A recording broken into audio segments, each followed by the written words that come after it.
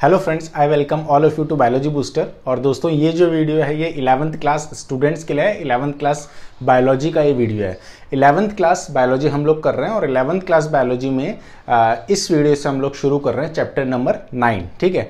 Chapter number nine that is biomolecule chapter number nine unit three में five units हैं आपके eleventh biology में, उसमें जो थर्ड यूनिट है सेल वाला यूनिट उस पर सेकेंड चैप्टर है, ठीक है? तो एट चैप्टर जो है थर्ड यूनिट पे फ़र्स्ट वो है cell the basic unit of life और उसके बाद जो सेकंड चैप्टर है सीक्वेंस uh, में अगर देखें तो चैप्टर नंबर नाइन जो है वो है बायोमोलिकुल्स ठीक है? तो इस चैप्टर से हम शुरू कर रहे हैं बायोमोलिकुल्स खैर इतना सीक्वेंस में टेंशन ना लें क्योंकि uh, जो अलग स्टेट बोर्ड के जो स्टूडेंट रहते हैं उनके हो सकता है ये सीक्वेंस ना हो ठीक है?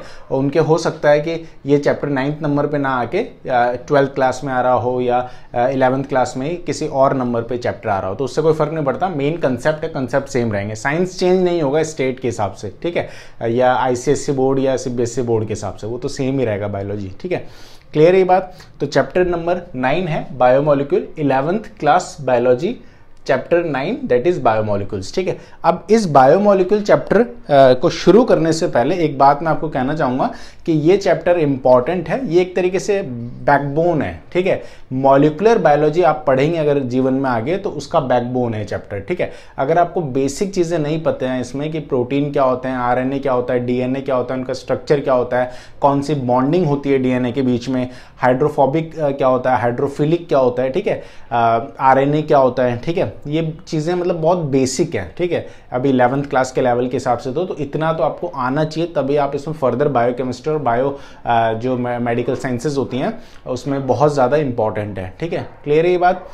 ये चैप्टर आपके अगर इलेवंथ ट्वेल्थ क्लास के हिसाब से बात करूँ तो आपकी केमिस्ट्री में भी आता है, ठीक है? कई कई जगहों पे इलेवंथ क्लास में केमिस्ट्री में आ जाता है, कई जगह ट्वेल्थ क्लास में केमिस्ट्री में आता है। तो एक जगह आप पढ़ लेंगे तो आपके दोनों जगह फ़ायदा हो जाएगा, ठीक है?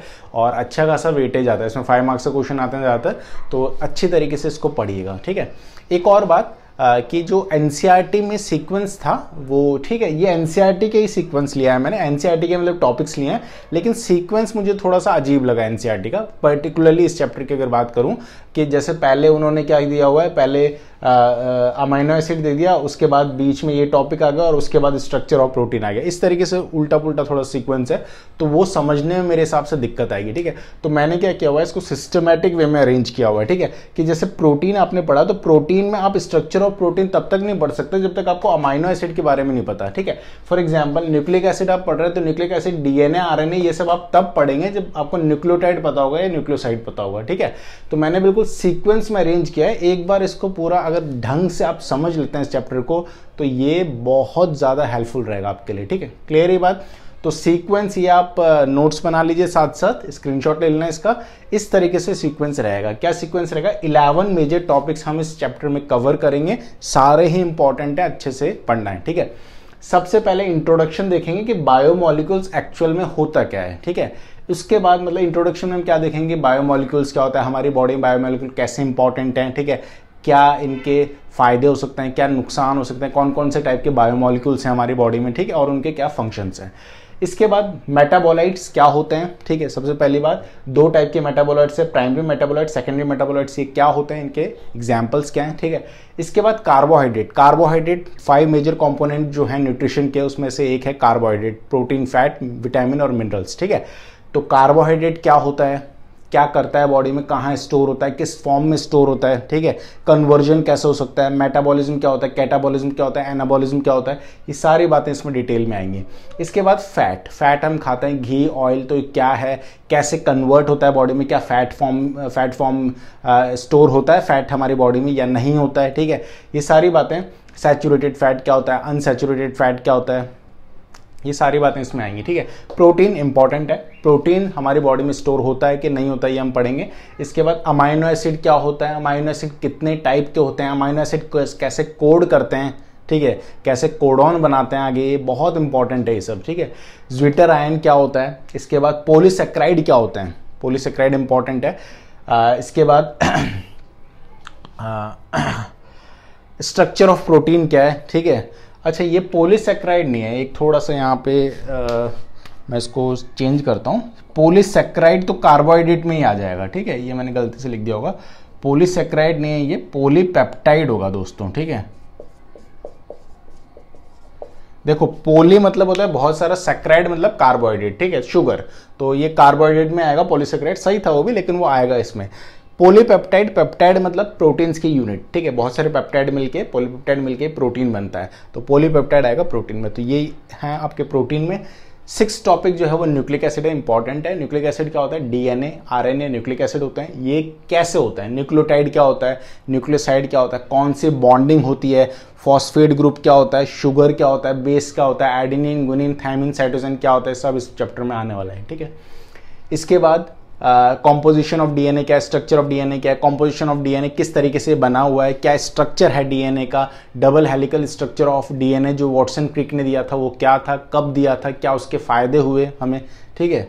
ये इस चैप्टर में हम पढ़ने वाले हैं, इस टॉपिक में। सेवन जो है, वो है nature of bonding linking nature of bonds linking monomers in a polymer polymer जो होता है, उसमें क्या बॉन्ड्स की लिंकिंग है? एनसीईआरटी के हिसाब से ये टॉपिक है, बिल्कुल सेम टू सेम ऐसे ही लिख दिया है मैंने। तो ये इसमें हम सारी चीज़ें पढ़ेंगे। इसके बाद एट जो है dynamic state of body constituents dynamic state of body constituents क्या है? कंसेप्ट ऑफ़ मेटाबॉलिज्म मेटाबॉलिज्म क्या होता है? जब हम कुछ खाते हैं तो कैसे पचता है? ठीक है? या जब हम व्रत रखते हैं तो हमारे बॉडी की जो एनर्जी वो कैसे अगेन यूज़ होती है? ये सारी बातें मेटाबॉलिज्म में आती है और इसको डिटेल में हम बायोकेमिकल रिएक्शंस के साथ समझेंगे ठीक है? Metabolic basis for living living के मेटाबॉलिक बेसिस क्या है क्या इंपॉर्टेंस है क्या क्या चीज़ें होनी चाहिए लिविंग होने के लिए ठीक है? द लिविंग स्टेट क्या होता है एक्चुअल में वो पढ़ेंगे। उसके बाद एंजाइम्स मोस्ट इंपॉर्टेंट टॉपिक है एंजाइम केमिकल रिएक्शंस क्या होता है? एंजाइम्स क्या होता है? सबसे पहली बात तो एक्टिवेशन एनर्जी क्या होती है? केमिकल uh, रिएक्शंस क्या होता है? हाई रेटेड केमिकल रिएक्शन कैसे कन्वर्जन होता है हाई रेटेड केमिकल कन्वर्जन कैसे होते हैं एंजाइम की सहायता से ठीक है? बहुत टाइम लगता है। खाने की अगर हम बात करें तो खाना करोड़ों uh, मतलब जैसे कोई भी चीज़ अगर हम अपने बॉडी की बात करें तो खाना जैसे हम खा लेंगे तो कई सालों लगाएगा। ऐसे कहते हैं तीस साल में भी खाना पच जाए तो बहुत बड़ी बात होगी ठीक है? लेकिन एंजाइम की सहायता से चार से पाँच घंटे में हमारा फ़ूड जो है कंप्लीटली डाइजेस्ट हो जाता है। तो ये सब कैसे होता है? ये सब समझेंगे इसमें। नेचर ऑफ़ एंजाइम एक्शन कैसे एंजाइम एक्शन करता है, मैकलिस मेंटेन रिएक्शन इसमें आ सकता है। खैर, बहुत डिटेल वाली बात हो गई। एनसीआरटी में जितना है, उतना तो पढ़ेंगे, थोड़ा सा और लेवल ऊपर रखेंगे, ठीक है? उसके बाद factors affecting enzyme activity enzyme activity के कौन कौन से फैक्टर अफेक्ट करते हैं? क्या हाई टेम्परेचर में भी एंजाइम काम करते हैं? क्या, या बहुत लो टेम्परेचर में भी क्या एंजाइम काम करते हैं? ये सारी बातें इसमें आएँगी। Classification and nomenclature of enzymes nomenclature है एंजाइम्स भी अलग अलग टाइप के होते हैं। कुछ एंजाइम होते हैं जो प्रोटीन से बंधे रहते हैं, कुछ एंजाइम्स रहते हैं वो किसी मेटल से बंधे हुए रहते हैं, जैसे हीमोग्लोबिन आयरन से बंधा हुआ प्रोटीन है, ठीक है? आयरन से तो ऐसे कई सारे हैं, ठीक है? तो उनके क्या फ़ंक्शन है, क्या नेचर है? क्लासिफिकेशन उनका पढ़ना है। हमें उसके बाद को फैक्टर्स क्या होते हैं, इसको पढ़ेंगे। ये बहुत इंपॉर्टेंट है, ठीक है? तो ये पूरा इस तरीके से सिस्टम से हम चलने वाले हैं। एक बार इसका स्क्रीनशॉट आप ले लीजिए ताकि आपको सहूलियत हो आगे पढ़ने में, ठीक है? क्लियर है ये बात? तो दोस्तों फ़र्स्ट टॉपिक से स्टार्ट करते हैं। पहला टॉपिक है इंट्रोडक्शन सबसे पहले इसका इंट्रोडक्शन एक बार समझते हैं, उसके बाद धीरे धीरे आगे टॉपिक्स बढ़ते चलेंगे, ठीक है? सबसे पहले इंट्रोडक्शन क्या है? डेफिनेशन uh, किसकी डेफिनेशन जो हमारे चैप्टर है बायोमोलिक्यूल उसके डेफिनेशन क्या होता है biomolecules molecule that are essential to one और more biological process that are called are called biomolecules मैंने बिल्कुल सिंपल रखा है। क्या है ये? Molecules that are essential to one और more biological process are called biomolecules अब आप कहेंगे कि सर मॉलिक्यूल्स जो असेंशियल हों मॉलिक्यूल्स मॉलिक्यूल्स तो केमिस्ट्री में भी होता है। लेकिन यहाँ पे ध्यान देने वाली बात है बायोलॉजिकल प्रोसेसेस तो कौन से मॉलिक्यूल से मतलब है अपन को? बायोलॉजिकल प्रोसेसेस में जो काम आ रहे हैं, ठीक है? ऐसे मॉलिक्यूल जो असेंशियल हैं, एक या एक से ज़्यादा बायोलॉजिकल प्रोसेस को कंप्लीट करने में या उसमें इन्वॉल्व है ये, वो कहलाता है बायो मॉलिक्यूल सिंपल सी बात है। ठीक है? क्लियर ये बात? अब देखिए एग्ज़ाम्पल जैसे अब इसमें दो टाइप है। मैक्रो मॉलिक्यूल्स भी हो सकता है और माइक्रो मॉलिक्यूल्स भी हो सकता है। मैक्रो मतलब बड़ा माइक्रो मतलब छोटा, ठीक है? मैक्रो मॉलिक्यूल्स कैसे? जैसे एग्ज़ाम्पल है प्रोटीन कार्बोहाइड्रेट लिपिड ये किस टाइप के लिपिड क्या होता है? लिपिड फैट ही होता है। हिंदी में कहते हैं वसा। मतलब फैट का एक फॉर्म होता है लिपिड ठीक है? कार्बोहाइड्रेट पता ही है आपको? और प्रोटीन आपको पता ही है, ठीक है? तो ये सब मैक्रो मॉलिक्यूल्स होते हैं दोस्तों, ये बड़े मॉलिक्यूल्स है। बड़े कैसे बड़े? मतलब साइज़ वाइज बड़े। अगर आप इनको देखेंगे तो इनका मॉलिकुलर जो साइज़ है मॉलिक्यूल का जो साइज़ है, वो ज़्यादा है ऑब्वियस बात है, ठीक है? इसके बाद माइक्रोमोलिक्यूल जो साइज़ में छोटे हैं, जैसे प्राइमरी मेटाबोलाइट्स आगे पढ़ेंगे हम मेटाबोलाइट्स में, और नेचुरल प्रोडक्ट्स ये सब माइक्रोमोलिक्यूल्स हैं, ठीक है? तो बायोमोलिक्यूल क्या होता है? उसमें बायोमोलिक्यूल दो टाइप के होते हैं माइक्रोमोलिक्यूल और मैक्रोमोलिक्यूल विद एग्जाम्पल्स आपको पता है, ठीक है? इसके बाद they are essential in many biological processes like cell division metabolism ये बहुत सारे प्रोसेसेस में इन्वॉल्व हैं। पूरी की पूरी बॉडी ही एक तरीके से कहें तो इन पर डिपेंडेंट है। सबसे पहला, जैसे कि एग्ज़ाम्पल अलग अलग बायोलॉजिकल प्रोसेस में प्रोसेसेस में इन्वॉल्व हैं। जैसे कि सेल डिवीज़न में सेल जब डिवाइड होता है तो उसमें कई मैक्रोमोलिक्यूल्स का रोल रहता है। मेटाबॉलिज्म मेटाबॉलिज्म मतलब एक तरीके से जो भी लिविंग रिएक्शंस बॉडी के अंदर हो रही हैं, जितनी भी, उनमें मैक्रोमोलिक्यूल्स या कहूँ बायोमोलिक्यूल्स का रोल है, ठीक है? Many elements are found in our body and earth crust देखो, कई सारे एलिमेंट्स होते हैं। एलिमेंट्स क्या होते हैं? जैसे ऑक्सीजन हो गया आयरन हो गया, सारे एलिमेंट्स ही हैं, ठीक है? तो बहुत सारे एलिमेंट जो हैं, वो हमारे बॉडी में पाए जाते हैं, जो कि अर्थ क्रस्ट में होते हैं, ठीक है? कहाँ होते हैं एलिमेंट्स? पेड़ में एलिमेंट्स होते हैं। आप कहेंगे होते हैं होते हैं, लेकिन वो किससे लिया है? ज़मीन से लिया है। तो हमारी जो धरती है ना, उसको प्रणाम करें, क्योंकि सब कुछ धरती में ही है दोस्तों, ठीक है? सब कुछ अर्थ में ही है। अब इस अर्थ से ही प्लांट के थ्रू वो ऊपर आता है और प्लांट से फिर हम खा जाते हैं उसे। हमें कोई और एनिमल मान लो रहता तो उसे कोई और खा जाता है, ठीक है? तो इस तरीके से ये साइकिल चलती रहती है, ठीक है? और वो अलग अलग ट्रांसफ़र होता है। जैसे भिंडी का एक पेड़ है तो भिंडी में क्या होता है? आयरन होता है, ठीक है? अब भिंडी को खा लिया किसी ने मान लो खा लिया डियर ने खा लिया डियर को खा लिया टाइगर ने। तो टाइगर के पास भी क्या पहुँच गया? आयरन पहुँच गया। अब टाइगर मर गया मर गया तो सॉइल में मिल गया, मिट्टी में मिल गया पूरा टाइगर उसकी बॉडी डिकम्पोज हो गई। तो वो पूरा जो आयरन था उसकी बॉडी का, पूरा तो नहीं, लेकिन कुछ परसेंटेज ऑफ़ आयरन वापस से सॉइल में मिक्स हो गया, ठीक है? और ये साइकिल इस तरीके से चलती ही रहती है, ठीक है? तो एलिमेंट्स जो हमारे अर्थ पे हैं, वो हमारी बॉडी में भी कहीं ना कहीं मौजूद होते हैं। इसीलिए मैं पहले भी कहता हूँ आपको, मैंने पहले भी कहा था कि अभी आप बहुत ज़्यादा चूजी होंगे, अभी घर से बाहर बाहर नहीं निकले ना। तो अभी बहुत चूजी रहते हैं कि मैं लौकी की सब्ज़ी नहीं खाऊँगा, मैं ये नहीं खाऊँ, मैं वो नहीं खाऊँ। बहुत ज़्यादा हम रॉब्स लगाते हैं रॉब झाड़ते हैं एक तरीके से घर वालों पे, ठीक है? लेकिन एक्चुअल में जब आप बाहर जाएँगे और आपको खाने की इंपॉर्टेंस पता पड़ेगी क्योंकि वहाँ खाना आपको टेस्टी नहीं मिलेगा हॉस्टल्स वगैरह में, ठीक है? तो इसलिए डिफरेंट टाइप के जो फ़ूड होते हैं, वो खाएँ आप।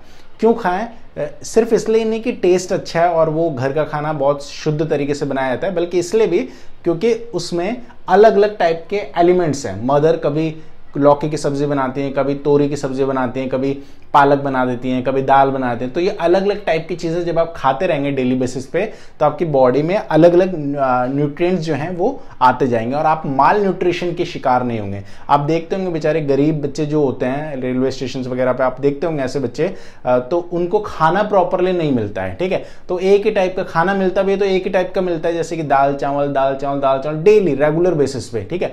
तो बॉडी में एलिमेंट्स की कमी हो जाती है और एलिमेंट्स की कमी होने पे क्या होगा? माल न्यूट्रिशन हो जाएगा। ऐसे उनका पेट निकल जाता है और हड्डियाँ वड्डियाँ बिल्कुल पतली हो जाती हैं बॉडी का स्ट्रक्चर चेंज हो जाता है। तो ये सब ना हो, इसलिए सारे एलिमेंट्स आपकी बॉडी में होने चाहिए। और एलिमेंट्स कैसे होंगे? सभी तरीके का खाना खाएँ। सभी तरीके से मेरा मतलब है घर में बनने वाले सभी प्रकार की सब्ज़ियाँ और चीज़ें खाएँ। ठीक है? क्लियर ये बात? फ्रूट्स वगैरह लें।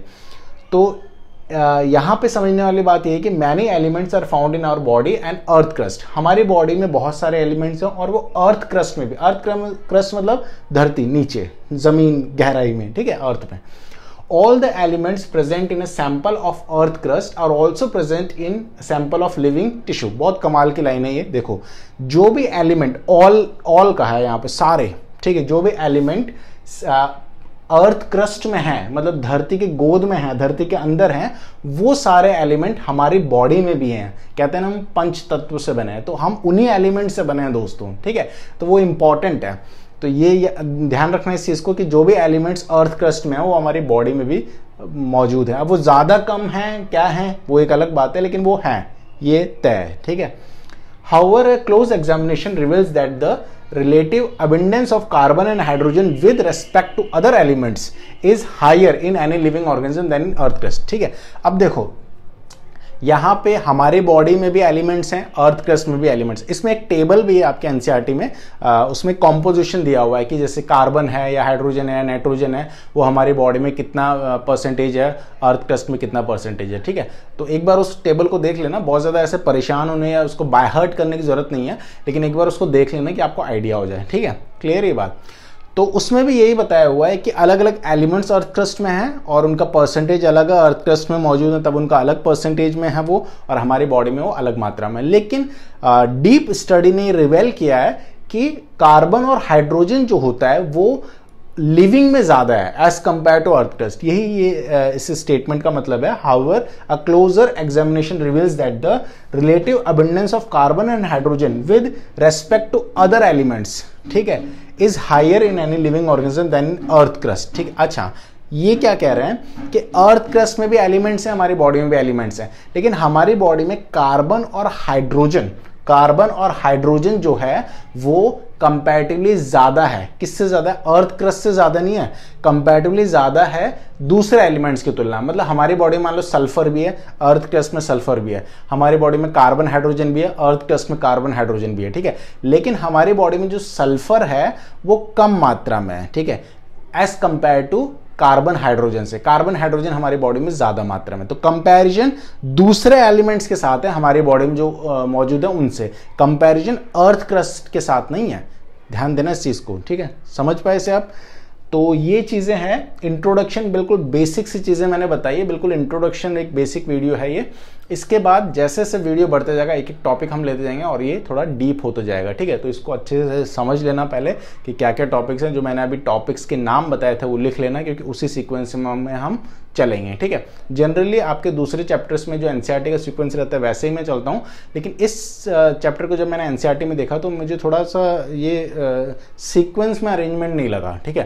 तो इसलिए मैंने इसको अपने हिसाब से अरेंज किया है, बाकी चीज़ वही है, ठीक है? तो इसको आप ऐसे पढ़ना और कोई अगर डाउट है आपको तो कमेंट बॉक्स में ज़रूर बताएगा डाउट ठीक है? चलिए thank you so much for watching this video love you all